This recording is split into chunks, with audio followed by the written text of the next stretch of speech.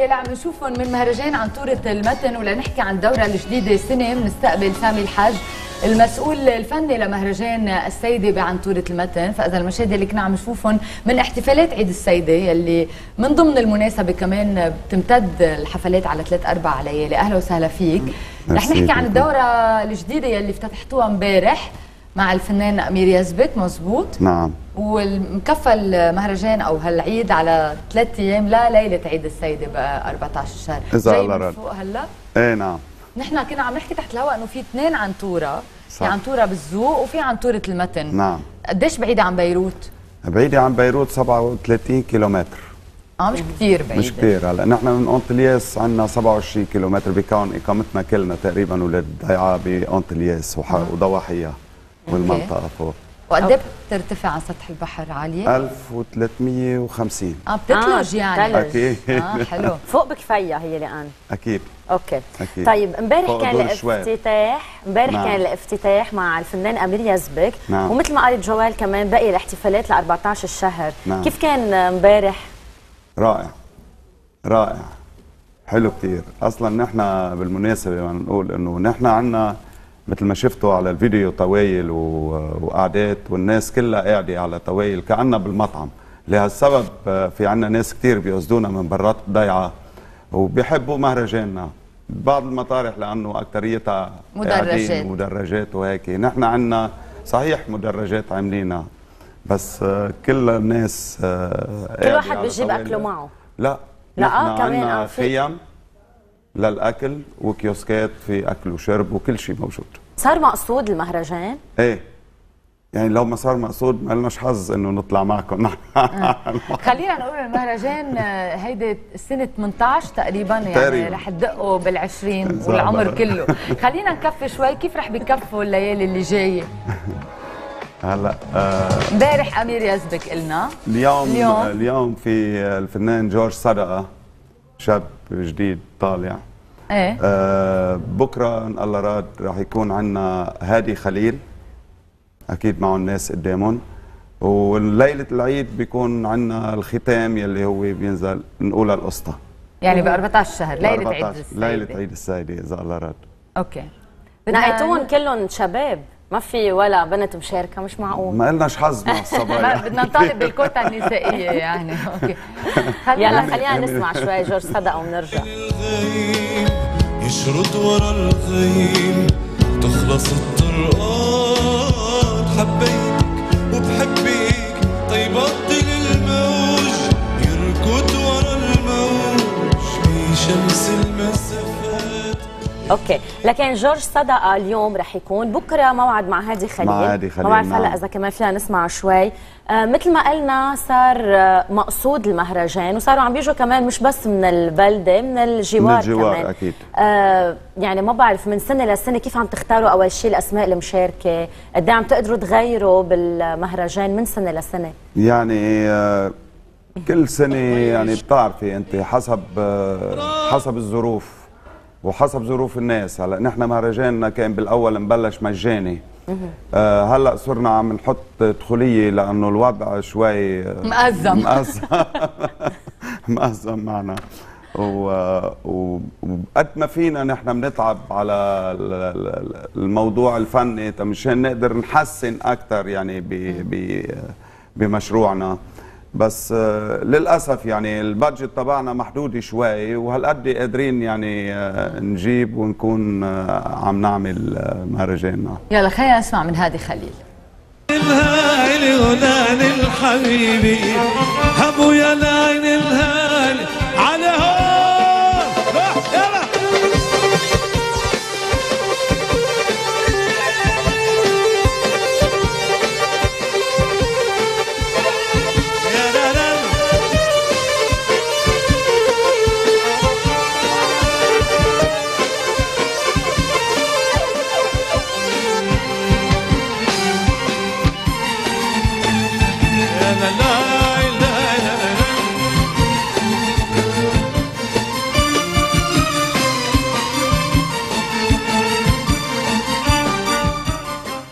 قديش كان في ناس امبارح؟ هلا نحن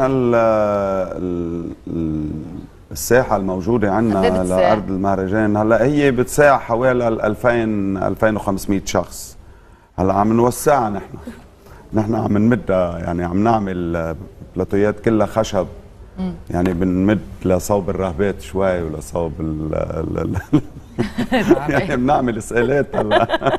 مشان نقدر نوسع قد ما فينا ناخذ أعداد الناس. طيب خلينا نرجع نذكر إنه الفنان اولى القصة رح يختم الاحتفالات هالسنة ب نعم. 14 شهر ليلة عيد السيده نعم. خلينا نسمع. نعم. آه. طيب بعد ما جهز الفيديو.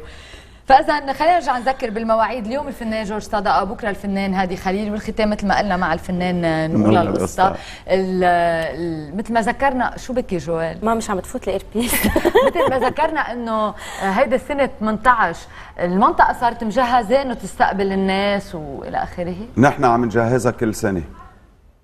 كل سنة نحن بنجهز المطرح يعني نحن مطرحنا صغير نسبة للناس اللي بدها تجي بس نحن عم نكبر بالسقلات وبالخشب ونعمل آه يعني آه، آه، مساحات أكبر.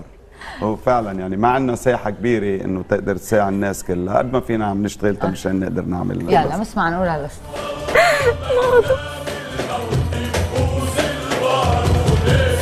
كنا زحلي عم يهدر نهرة كنا قاعدين بالسهرة زحلي عم يهدر نهرة كل فرقة استلمت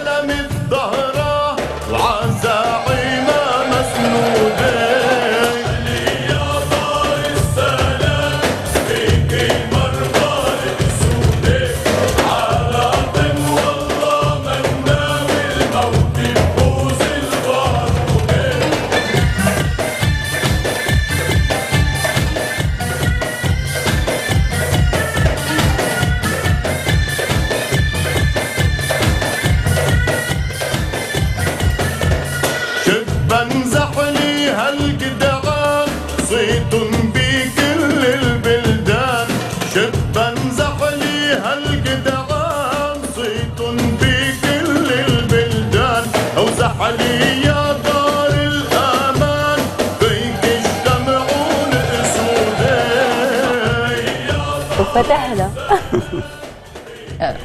فاذا آه، عندكم ثلاث أربع أيام هلأ ما في نوم. بعدك. جاي من السهرة. إيه. no قال لي no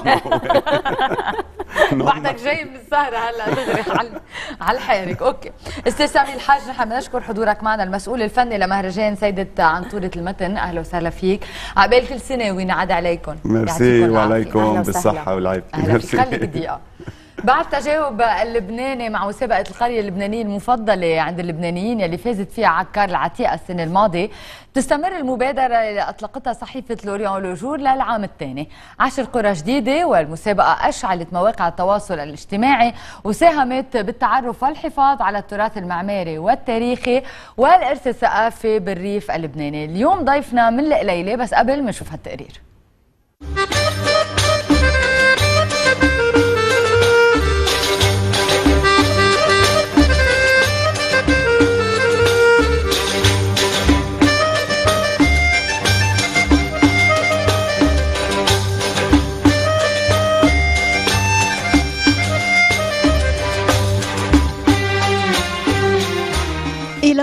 رأس الأباء والأجداد تمد جسور قائمة على الأصالة التاريخ والتراث حيث الجذور والأساس. صحيفة لوريون لوجور أطلقت الدورة الثانية لمسابقة القرية اللبنانية المفضلة وعشر قرى عم تتنافس ضمن مبادرة هدفها تعزيز الثقافة وتنشيط السياحة. من بيروت العاصمة يلي بتجمع أهل كل البلد. سألنا عن علاقة كل إنسان بقريته فكانت الإجابة هي المكان الأول والأخير. ما في عندي مثل بيروت أجمل من بيروت ما بلاقي. هي مش قرية مدينتي. لاني أنا بنت بيروت ما بلاقي أجمل منها. بيروت قرية الكبيرة. أحلى أحلى أحلى قرية بيروت. قريتي الأولى والأخيرة بيروت. هي حبيبة قلبي أنت لو ما المستقبل ما وقفت. ضيعتي أكيد بتلون الشوف تبعد عن البي- بتلون عن بيروت 50 كيلو. بت- بتطلع بتطلع لها من هون عن اوزاع عن ضمونك فرحيم دار القمر بيت الدينك. فنمرق بتلون تجيها من المتن عن طريق ظهر البيضة نبع الصفا الباروك عنا على الضيعة. وأهلا وسهلا فيكم كل بيوتنا مفتوحة. حياة الله. صدقي إنه عقلي هون ووجه جسمي هون عقلي بالضيعة. أي والله بدون عم اكذب عليك. حمينا. حمينا. حمينا. مش قرية؟ بلدي صارت. حمينا. أنا بحبها بحبها ربيت فوق. كثير إشياء فيها حلوة كثير الشجر ال- ال- هيدا ال ال ال ال ال شو كمان ال- الكازيونيات القهاوي. أنا علاي هذه عر- عروسة المصايف علاي فيها ضباب فيها ذكريات حلوة. حلوة حبها من هونيك تجوزت كمان.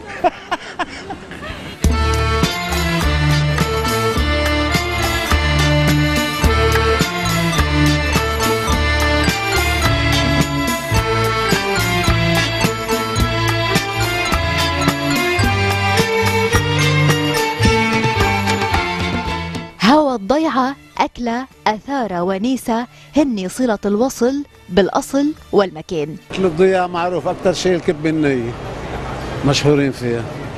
واللهم صل على النبي كمان ال- الأكلات البلدية مثل البرغل والبندورة. بنعمل جلسات أوقات على الصاج. أختي بتقعد على الصاج هي بت... هذا بنكون كلنا حواليها بنتروق مناقيش بزعتر مناقيش بندورة بصل. بحب التين بحب ال- الصبح لما بيطلع الفجر لما بيطلع آه، بحب الغروب كتير. الأرميد وبالبيوت الحجر وبسكاننا اللي بجننوا. والهواء نظيف أهم شيء.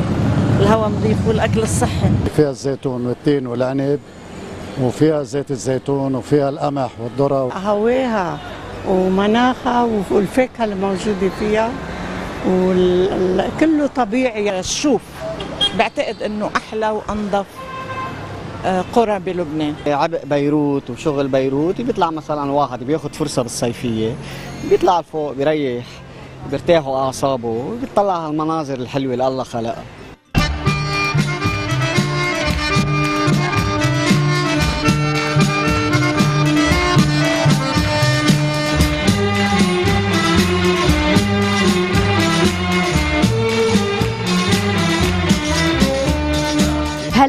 غيرنا السؤال. من شو أفضل قرية بلبنان؟ إلى ليش بتحب قريتك؟ فكان الجواب الحياة طبعا. آه، الاجتماعيات فيها بعد ما هي. ناس بتحب بعضها ناس بتزور بعضها. بعدين آه، مهرجانات الصيف آه كمان ما بيخلوا مناسبة. بعدين بالضياع ما في حدا غريب. كلهم بيقربوا بعضهم. يعني صحيح هذا بيكون بيت زراء وهذا بيت الزين وهذا بيت بحسون وهذا بس كله بيلحق بعض. كلهم يعني بتلاقيهم قريبين مش من الام من الباي. لازم يكون عنده ضيعة لأنه هي الضيعة هي بتجمع بين الأحباب والأصحاب والإخوة والمحبة. على الضيعة أنا ما بعرف غني بس هي هي فنانة ما بعرف مين بتغني. على الضيعة يوم على الضيعة. أي يلحقوني على الضيعة. لأن من نسل والأهل من عائلتي فيها أهم شيء. وبعدين الحياة فيها غير شكل. بالنهاية عنده الواحد ضيعته أحلى شيء مثل ما قال علي أبو ماضي. نقل فؤادك حيث شئت من الهوى ما الحب إلا للحبيب الأولي كم منزل في الأرض يألفه الفتى وحنينه دوما لأول منزله